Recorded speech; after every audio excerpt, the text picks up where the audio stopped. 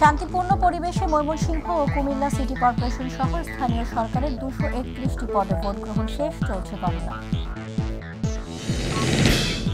একবিংশ শতাব্দী চ্যালেঞ্জ মোকাবেলায় army medical ও dental কোরের সদস্যদের প্রস্তুত থাকার আহ্বান জানালেন সেনাপ্রধান। মাদারীপুরের ডাসারে প্রথমবারের মতো বাণিজ্যিকভাবে স্ট্রবেরি চাষ করে সারা ফেলেছেন এক কৃষক। কম সময়ে বেশি লাভ হওয়ায় আগ্রহ বাড়ছে তরুণদের।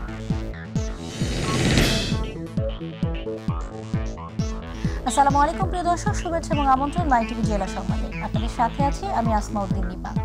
শুনছিলেন হামদাদ রুয়ামসা সংবাদ শিরোনাম, এবার চলে যাচ্ছে বিস্তারিত সংবাদ। ময়মনসিংহ ও কুমিল্লা সিটি নির্বাচনের ভোট গ্রহণ সম্পন্ন হয়েছে। সকাল আটটা থেকে শুরু হয়ে টানা ভোট চলে বিকেল চারটা পর্যন্ত। কুমিল্লায় নির্বাচন হচ্ছে শুধু মেয়র পদে, আর মেয়াদ শেষ হওয়ায় ময়মনসিংহ সিটি কর্পোরেশনের মেয়র ও কাউন্সিলর পদে প্রতিদ্বন্দ্বিতা হচ্ছে।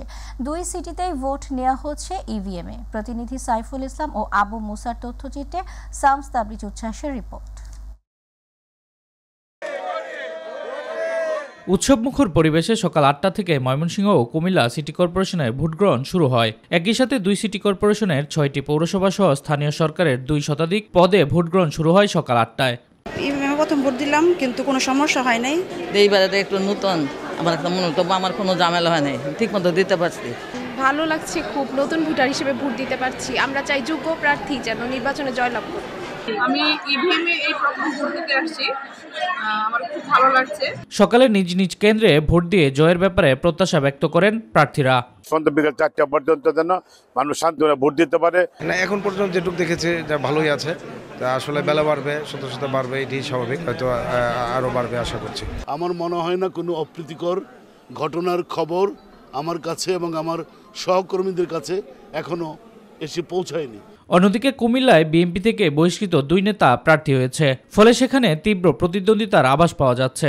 ভোট কেন্দ্রে আসার জন্য তারা প্রস্তুতি নিচ্ছে এবং আসছে। প্রথম কিছু ডিস্টার্ব হতে পারে আমি মনে করি পুলিশ এসে সেভাবে নামছে না। আসতে ঠিক হতে পারে আমি তো ভবিষ্যৎবাণী করতে পারি না খারাপ বলতে পারো। অবশ্যই করছি। প্রিন্ট এবং ইলেকট্রনিক মিডিয়া আছে। যদি কোনো সমস্যা হয়ে থাকে তাহলে সেটা আপনারাই দেখতেন। আর এখন তো মানুষ মোবাইল ফোনের সময় নিজেরাই এক একজন সাংবাদিক। দুষ্কৃতিকারীদেরকে আপনারা রাস্তা থেকে হটিয়ে দিন ভোটারদের চলাচলের রাস্তাগুলো উন্মুক্ত করে দিন এবং তাদেরকে নিরাপত্তা দিন। আপনাদের প্রতি কর্তৃপক্ষের প্রতি আমার এই আহ্বান থাকবে। নির্বাচন সুষ্ঠু, নিরপেক্ষ এবং শান্তিপূর্ণভাবে অনুষ্ঠানের জন্য কেন্দ্রভিত্তিক পুলিশ আনসার ছাড়াও স্ট্রাইকিং ফোর্স হিসেবে বিজিবি র্যাবের টহল, নির্বাহী ম্যাজিস্ট্রেট ও জুডিশিয়াল ম্যাজিস্ট্রেটের নেতৃত্বে আইন শৃঙ্খলা বাহিনী নিয়োজিত রয়েছে। My TV, news desk. দর্শক, এই মুহূর্তে কুমিল্লা থেকে সিটি নির্বাচন ভোটের সব শেষ খবর জানাচ্ছেন প্রতিনিধি আবু মুসা। ধন্যবাদ আপনাকে। কুমিল্লা সিটি কর্পোরেশনের নির্বাচনের ভোট গ্রহণ বিকেল চারটায় শেষ হয়েছে এবং এই মুহূর্তে কেন্দ্রে কেন্দ্রে কিন্তু গণনার কাজ চলছে। আমরা আছি এই মুহূর্তে কুমিল্লা সিটি কর্পোরেশনের যেখান থেকে ফলাফল ঘোষণা করা হবে, কুমিল্লা জেলা স্কুল অডিটোরিয়ামে। আপনারা দেখছেন এই অডিটোরিয়ামের এই জায়গাটি থেকে কিন্তু নির্বাচন সংশ্লিষ্ট যে সমস্ত কর্মকর্তারা তারা হাজির হচ্ছেন এবং পাশাপাশি সংবাদকর্মীরা কিংবা বিভিন্ন প্রার্থীর লোকজনও কিন্তু আস্তে আস্তে এই জায়গাটিতে এসে জড়ো হচ্ছেন। তো এই জায়গা থেকে মূলত ফলাফল সংগ্রহ পরিবেশন করা হবে কুমিল্লা সিটি কর্পোরেশনের যে উপনির্বাচন, উপনির্বাচনের ফলাফল। তো একটু জানিয়ে রাখতে চাই, কুমিল্লা সিটি কর্পোরেশনের নির্বাচনের দিনব্যাপী ভোটের মধ্যেও কিন্তু দু একটি জায়গায় বিচ্ছিন্ন ঘটনা ঘটেছে এবং একটি বিচ্ছিন্ন ঘটনায় এখন পর্যন্ত আমরা যতদূর জানি চারজন আহত হয়েছে এবং একজনকে পুলিশ আটক করেছে বলে আমরা জানতে পেরেছি। তো আসলে একটু পরেই হয়তো ফলাফল আনুষ্ঠানিকভাবে ঘোষণা শুরু হবে। ঘোষণা শুরু হওয়ার পরেই হয়তো আমরা দর্শকদেরকে এই কুমিল্লা সিটি নির্বাচনের কে হচ্ছেন মেয়র সেটি আমরা জানিয়ে দিতে পারব। তো এই ছিল কুমিল্লা সিটি কর্পোরেশনের নির্বাচনের ফলাফল ঘোষণা কেন্দ্র থেকে সর্বশেষ। মুসা, আপনাকে ধন্যবাদ। দর্শক, এবার ময়মনসিংহ থেকে ভোটের খবর জানাচ্ছেন প্রতিনিধি সাইফুল ইসলাম। ধন্যবাদ আপনাকে। আপনি জানেন যে আজকে সকাল আটটা থেকে বিকেল পাঁচটা পর্যন্ত বিরতিহীনভাবে ময়মনসিংহ সিটি কর্পোরেশনের নির্বাচন অনুষ্ঠিত হয়েছে এবং আমি ময়মনসিংহ নগরীর বিদ্যামী সরকারি উচ্চ বালিকা বিদ্যালয় কেন্দ্রে এখন অবস্থান করছি।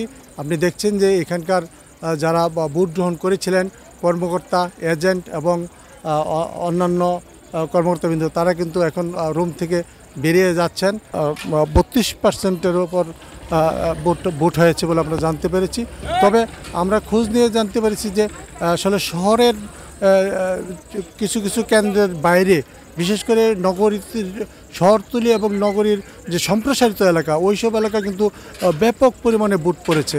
এবং আমাকে নির্বাচন কমিশনের সহকারী রিটার্নিং অফিসার হাবিবুর রহমান সাহেব জানিয়েছেন যে বিকাল তিনটা তিরিশ মিনিট পর্যন্ত তারা কিন্তু পঞ্চাশ পার্সেন্ট ভোট কাস্ট হয়েছে বলে তিনি আমাকে জানিয়েছেন। এবং বাকি সময়টুকুর মধ্যে আশা করা হচ্ছে যে হয়তো পঞ্চান্ন বা সিক্সটি পার্সেন্ট ভোট কাস্ট হতে পারে বলে তারা আমাদেরকে জানিয়েছেন। তো আমরা হয়তো পরবর্তী খবরে আপনাদেরকে এই রেজাল্টগুলো জেনে জানতে, জানাতে পারব যে আসলে কত পার্সেন্ট ভোট হয়েছে এবং কে বা কারা পাশ করেছে। এই ছিল আমার কাছে সর্বশেষ। সাইফুল, আপনাকে ধন্যবাদ। দর্শক, ময়মনসিংহ ও কুমিল্লা সিটি নির্বাচনের সবশেষ খবর জানাতে আমাদের সাথে এতক্ষণ যুক্ত ছিলেন কুমিল্লা প্রতিনিধি আবু মুসা ও ময়মনসিংহ প্রতিনিধি সাইফুল ইসলাম। চলে যাচ্ছি পরবর্তী সংবাদে। এদিকে উৎসব মুখর পরিবেশে পটুয়াখালীর পৌরসভা নির্বাচনের ভোট গ্রহণ শেষ হয়েছে। সকাল থেকে বিভিন্ন কেন্দ্রে ভোটারদের উপস্থিতি ছিল চোখে পড়ার মতো। পটুয়াখালী পৌর শহরের চব্বিশটি ভোট কেন্দ্রে ভোট গ্রহণ অনুষ্ঠিত হয়েছে।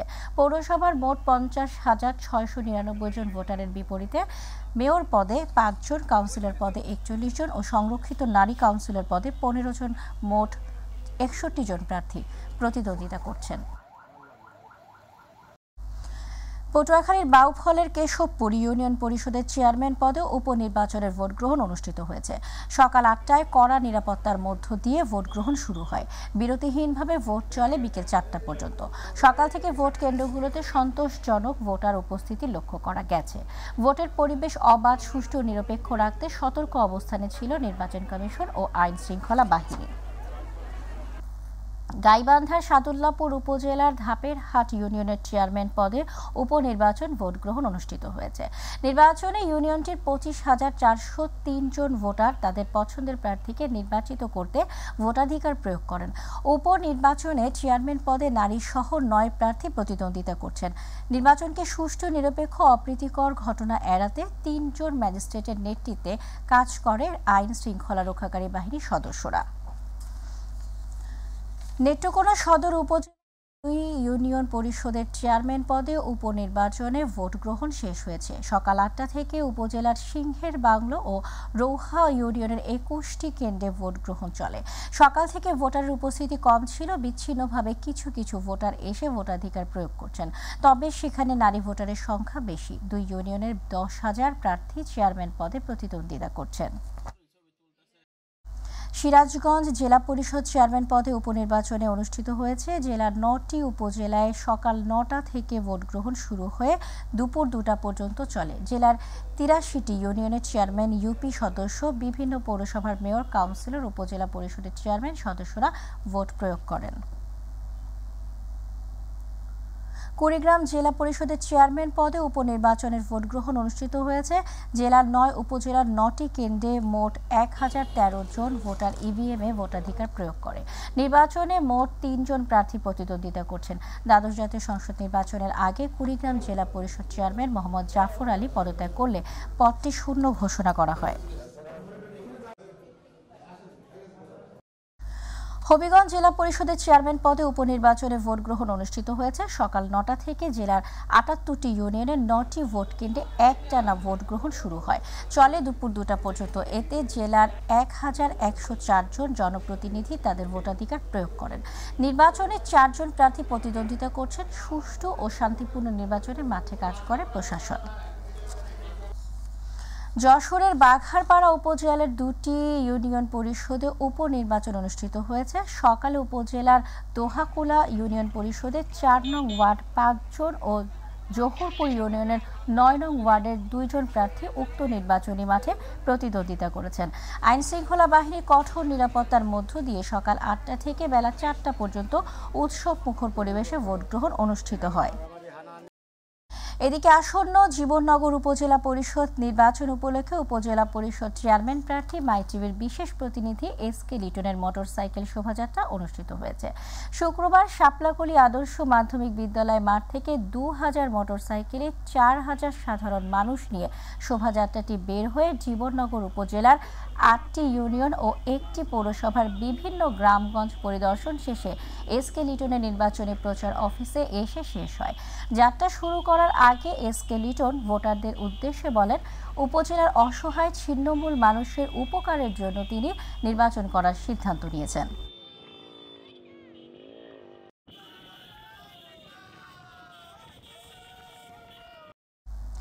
এবার অন্যান্য সংবাদ। আধুনিক ও যুবক উপযোগী প্রশিক্ষণের মাধ্যমে একবিংশ শতাব্দীর চ্যালেঞ্জ মোকাবেলায় আর্মি, মেডিকেল কোর ও dental corps armed forces nursing সার্ভিসের সদস্যদের সবসময় প্রস্তুত থাকতে হবে বলে জানিয়েছেন সেনাবাহিনীর প্রধান general S M Shafiuddin Ahmed. সকালে টাঙ্গাইলের শহীদ সালাউদ্দিন সেনানিবাসের আর্মি, মেডিকেল কোরের পঞ্চমতম কোর পুনর্মিলনী উপলক্ষে আয়োজিত অনুষ্ঠানে প্রধান অতিথির বক্তব্যে তিনি কথা বলেন। এই সময় আর্মি মেডিকেল কোর ও ডেন্টাল কোরের গৌরবোজ্জ্বল ঐতিহ্য দেশ মাতৃকার সেবায় কোরগুলোর অবদানের কথা স্মরণ করেন সেনাপ্রধান। তাদের এই কর্মদক্ষতা, সাহসিকতা দেশবাসীর কাছে সেনাবাহিনীর ভাবমূর্তি উজ্জ্বল করেছে। দক্ষতা ও পেশাদারিত্বের স্বীকৃতি স্বরূপ এই অর্জন করেছে জাতীয় পতাকা। অর্থমন্ত্রী আবু হাসান মাহমুদ আলী বলেছেন, সুশৃঙ্খল জীবনের মধ্য দিয়ে যে কোনো লক্ষ্যে পৌঁছানো সম্ভব। বঙ্গবন্ধু কন্যা শেখ হাসিনা ঘোষিত স্মার্ট বাংলাদেশের স্মার্ট সিটি জোন তৈরির অন্যতম মাধ্যম স্কাউটের সকালে স্বাধীনতার গৌরব উজ্জ্বল তিপ্পান্ন বছর পূর্তি উপলক্ষে দিনাজপুরের খানসামায় তিপ্পান্নটি সরকারি বিদ্যালয়ের অংশগ্রহণে কাপ হলিডে দু হাজার চব্বিশ উদ্বোধন অনুষ্ঠানে তিনি এসব কথা বলেন। আবারও নতুন নতুন ষড়যন্ত্রে মেতেছে বিএনপি বলে মন্তব্য করেছেন পরিকল্পনা প্রতিমন্ত্রী শহীদুজ্জামান সরকার। দেশে বিদেশে তারা ষড়যন্ত্রের জাল বিছিয়ে রেখেছে এবং চালিয়ে যাচ্ছে। নওগাঁর পত্নীতলা উপজেলা আওয়ামী লীগের আয়োজনে নজিপুর পাবলিক মাঠে গণসংবর্ধনা অনুষ্ঠানে এসব কথা বলেন। তিনি আরও বলেন, সরকারের উন্নয়নমুখী পরিকল্পনায় সাধারণ জনগণ সুবিধা পেয়ে যাচ্ছে। ষড়যন্ত্র মোকাবেলা করবার জন্য আমাদের সবাইকে ঐক্যবদ্ধ থাকতে হবে। ঝিনাইদহে ফেন্সিলিন সহ তিন মাদক ব্যবসায়ীকে আটক করেছে র্যাব ছয়। এ সময় একটি গাড়ি জব্দ করা হয়েছে। র্যাব জানায়, চুয়াডাঙ্গা থেকে ঢাকায় ফেন্সিলিন পাচার হচ্ছে এমন সংবাদের ভিত্তিতে শনিবার ভোরে সদর উপজেলার মধুপুরে চেকপোস্ট বসায় র্যাব। এ সময় সন্দেহ হলে একটি পাজারো গাড়ির গতিরোধ করে তল্লাশি করলে পাওয়া যায় একশো পঞ্চাশ বোতল ফেন্সিডিল এই ঘটনায় র্যাবের পক্ষ থেকে মামলা দায়েরের প্রস্তুতি চলছে। চাপাই নবাবগঞ্জের গোমস্তাপুরে অসুস্থ গরু জবাই করে মাংস বিক্রির অভিযোগে আবুল কালাম নামে এক ব্যবসায়ীকে দশ হাজার টাকা জরিমানা করেছে ভ্রাম্যমাণ আদালত। সকালে উপজেলার রহনপুর কলেজ মোড় এলাকায় অভিযান চালিয়ে এ জরিমানা করেন উপজেলা নির্বাহী অফিসার ও এক্সিকিউটিভ ম্যাজিস্ট্রেট নিসাদ আঞ্জুম অনন্যা। অসুস্থ গরুর মাংস জব্দ করে মাটিতে পুঁতে ফেলা হয়। দর্শক, এবার আমাদের কৃষি।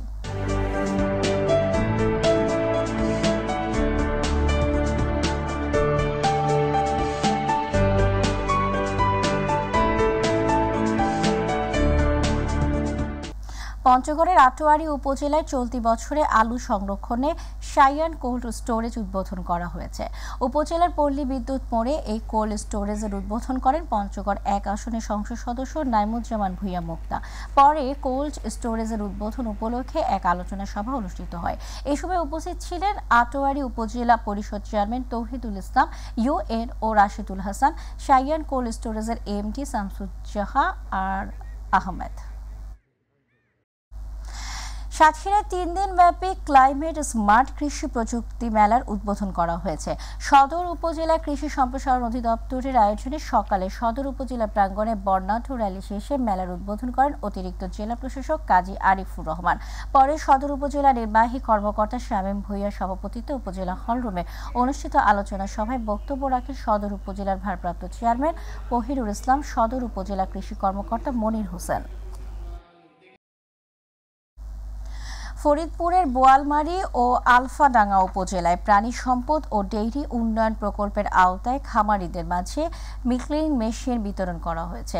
ফরিদপুর জেলা প্রাণী সম্পদ কর্মকর্তা ডাক্তার সঞ্জীব বিশ্বাসের সভাপতিতে মৎস্য ও প্রাণী সম্পদ মন্ত্রী মোহাম্মদ আব্দুর রহমান এই দুই উপজেলার ডেইরি খামারিদের হাতে আটটি মিল্কিং মেশিন তুলে দেন। উপস্থিত ছিলেন জেলা ভেটেরিনারি কর্মকর্তা ডাক্তার মনথন কুমার সাহা, ট্রেনিং কর্মকর্তা doctor A K M Asad সহ অনেককে। মাদারীপুরের ডাসারে প্রথমবারের মতো বাণিজ্যিকভাবে স্ট্রবেরি চাষ করে সারা ফেলেছেন এক কৃষক। সুস্বাদু ও পুষ্টিকর বিদেশি এ ফল চাষে কম সময়ে অধিক লাভবান হওয়া সম্ভব বলে আগ্রহ বাড়ছে তরুণদের। উপজেলা কৃষি বিভাগ চলছে বলছে, স্ট্রবেরি চাষ সম্প্রসারণে কৃষকদের সব ধরনের সহযোগিতা দেয়া হচ্ছে। প্রতিনিধি জিয়াউদ্দিন লিয়াকতের তথ্য ও ছবিতে আরও জানাচ্ছেন আমেনাহিরা মাদারীপুরের ডাসার উপজেলায় প্রথমবারের মতো বাণিজ্যিকভাবে স্ট্রবেরির চাষ করে ব্যাপক সারা ফেলেছেন আতাউর রহমান খান নামের এক কৃষক। এক বিঘা জমিতে দুই হাজার চারা রোপণ করেন তিনি। এখন তার ক্ষেতে সারি সারি বেডের উপর শোভা পাচ্ছে টক মিষ্টির মিশ্রণে রসালো লাল টসটসে স্ট্রবেরি।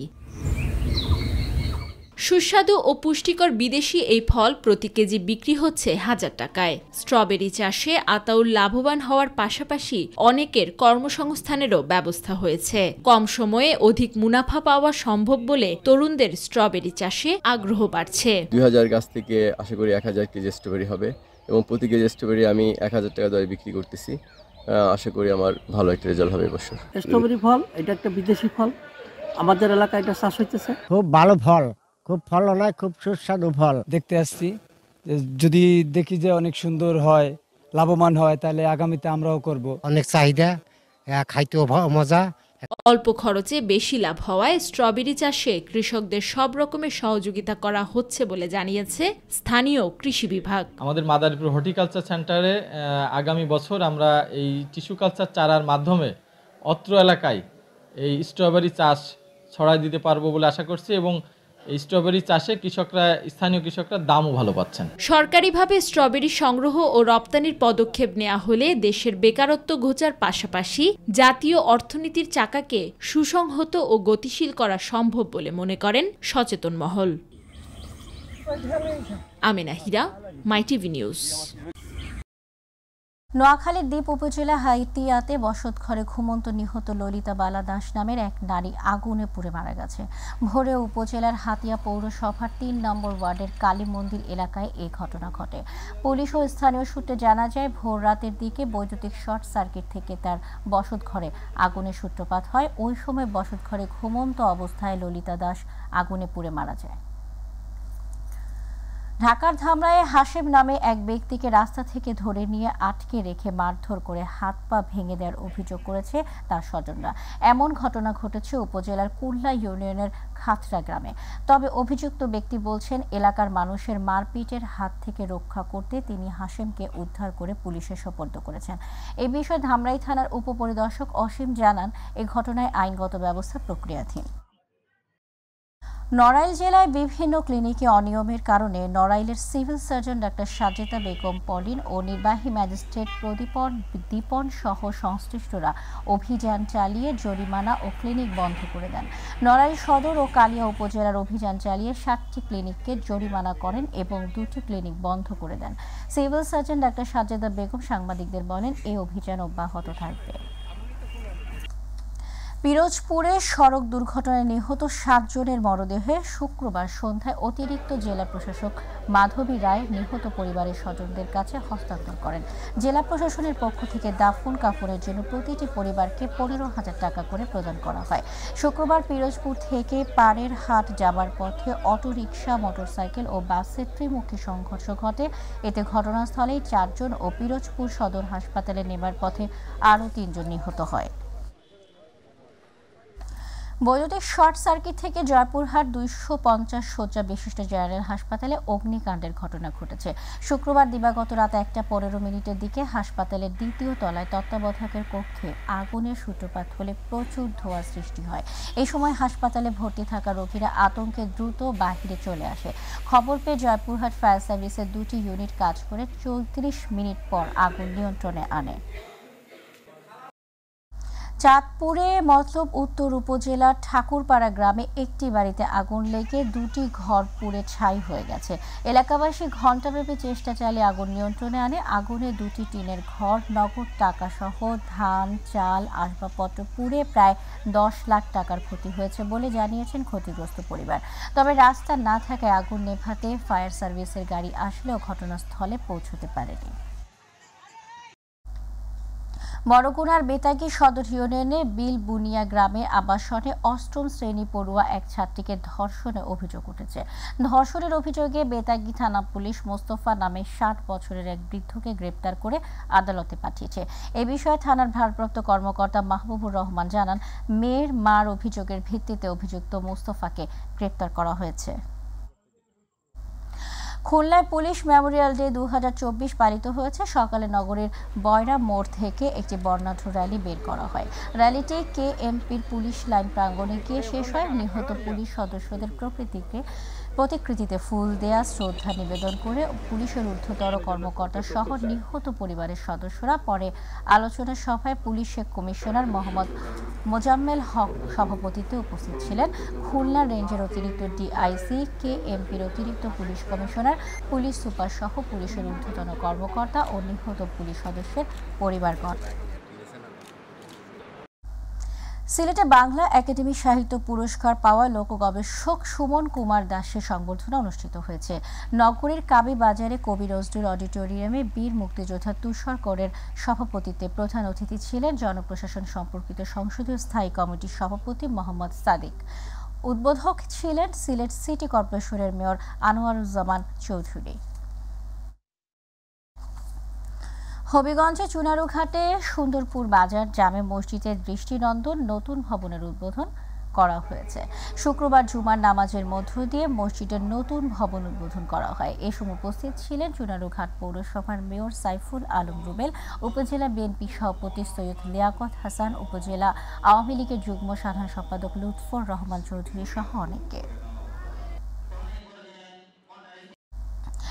নিত্য প্রয়োজনীয় দ্রব্যমূল্যের দাম ক্রমাগত বৃদ্ধির প্রতিবাদে সাতক্ষীরা জেলা বিএনপির পক্ষ থেকে লিফলেট বিতরণ করা হয়েছে। সকালে ইটগাছা হাটের মোড় এলাকায় লিফলেট বিতরণ কার্যক্রম শুরু করেন জেলা বিএনপির আহ্বায়ক অ্যাডভোকেট সৈয়দ ইফতেখার আলী।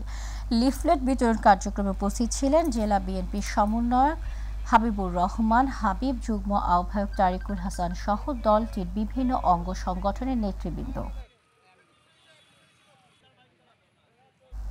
ঝিনাইদহের মহেশপুরে একদিন ব্যাপী ভৈরবাদ বিশ শয্যা হাসপাতালে চক্ষু শিবির অনুষ্ঠিত হয়েছে। মহেশপুর উপজেলা স্বাস্থ্য কর্মকর্তা ডাক্তার মাহমুদ বিন হেদায়তের সভাপতিত্বে প্রধান অতিথি হিসেবে বক্তব্য রাখেন ঝিনাইদহ তিন আসনের সংসদ সদস্য সালাউদ্দিন মিয়াজি। এই সময় উপজেলা পরিষদের চেয়ারম্যান ময়াজুদ্দিন হামিদ, উপজেলা আওয়ামী লীগের সাধারণ সম্পাদক মীর সুলতানুজ্জামান লিটন জেলা আওয়ামী লীগের তথ্য ও বিষয়ক সম্পাদক আনিসুর রহমান টিপু উপস্থিত ছিলেন। নারায়ণগঞ্জের রূপগঞ্জে, ঢাকা সিলেট মহাসড়কে অযান্ত্রিক যানবাহন, থ্রি হুইলার চলাচল বন্ধে ও সড়ক দুর্ঘটনা রোধ করতে জনসচেতনতা প্রচারণা চালিয়েছে বিআরটিএ। উপজেলার ভুলতা, গাউছিয়া ও গোলা গোলাকান্দাইল এলাকায় জনসচেতনতা প্রচারণা চালানো হয়। এই সময় বাংলাদেশ সড়ক বিভাগের চেয়ারম্যান নূর মোহাম্মদ মজুমদার, নিরাপদ সড়ক চাই সংগঠনের চেয়ারম্যান চিত্রনায়ক ইলিয়াস কাঞ্চন, বিআরটিএ নির্বাহী ম্যাজিস্ট্রেট আনিসুজ্জামান, রোড সেফটি পরিচালক শেখ মোহাম্মদ মাহবুব মাহবুব ই রব্বানি উপস্থিত ছিলেন। সিরাজগঞ্জের বেলকুচিতে পুনরায় সংসদ সদস্য নির্বাচিত হয়। আব্দুল মোমিন মণ্ডলকে সংবর্ধনা দিয়েছে বাংলাদেশ হিন্দু বৌদ্ধ খ্রিস্টান ঐক্য পরিষদ উপজেলা শাখা। শুক্রবার কেন্দ্রীয় শ্রী শ্রী কালীমাতা ও শ্রী শ্রী রাধা গোবিন্দ মন্দিরে ঐক্য পরিষদে বেলকুচি উপজেলা শাখার সভাপতি জয় শঙ্কর সাহার সভাপতিত্বে ও সাধারণ সম্পাদক রনি কুমার মিত্রের সঞ্চালনায় প্রধান অতিথি ছিলেন সিরাজগঞ্জ পাঁচ আসনের সংসদ সদস্য আব্দুল মোমিন মণ্ডল। নিজ সংসদীয় এলাকায় ফিরে হাজারো নেতাকর্মীদের ফুলেলো শুভেচ্ছায় সিক্ত হয়েছে জাতীয় সংসদের সংরক্ষিত আসনের মহিলা সংসদ সদস্য রেজিয়া ইসলাম।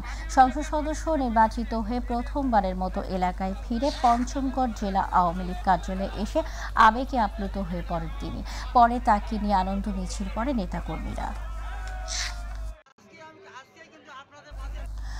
আন্তর্জাতিক নারী দিবস উপলক্ষে কক্সবাজার জেলা প্রশাসন এবং মহিলা বিষয়ক অধিদপ্তরের যৌথ উদ্যোগে অনুষ্ঠিত হয়েছে র্যালি ও আলোচনা সভা। আলোচনা সভায় প্রধান অতিথি ছিলেন জেলা প্রশাসক মোহাম্মদ শাহিন ইমরান, অতিরিক্ত জেলা প্রশাসক বিভীষণ কান্তি দাসের সভাপতিতে জাতীয় মহিলা সংস্থার জেলা সভাপতি কানিস ফাতেমা আহমেদ, মহিলা বিষয়ক অধিদপ্তরের উপপরিচালক সুব্রত বিশ্বাস, অতিরিক্ত জেলা প্রশাসক প্রাপ্তাপ শক্তি চাকমা জেলা আওয়ামী লীগ সভাপতি ফরিদুল ইসলাম চৌধুরী সহ আরও অনেকে বক্তব্য রাখেন। রাজবাড়ীর গোয়ালন্দে আট মার্চ আন্তর্জাতিক নারী দিবস উদযাপন উপলক্ষে আলোচনা সভা অনুষ্ঠিত হয়েছে। শুক্রবার উপজেলা পরিষদের সভাকক্ষে নির্বাহী কর্মকর্তা জ্যোতি বিশ্বাস চন্দ্রের সভাপতিত্বে প্রধান অতিথি ছিলেন পৌর মেয়র নজরুল ইসলাম মণ্ডল, মহিলা বিষয়ক কর্মকর্তা সালমা বেগম।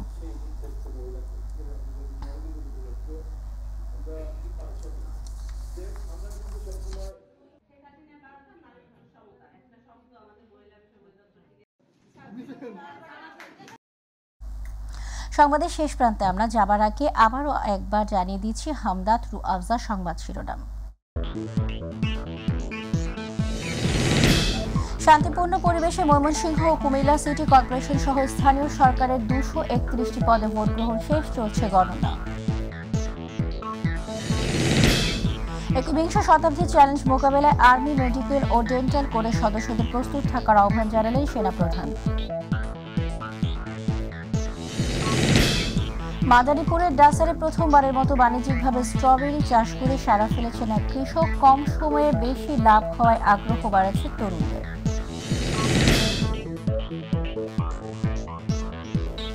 দর্শক, এই ছিল আমাদের এখনকার মতো। আল্লাহ হাফেজ।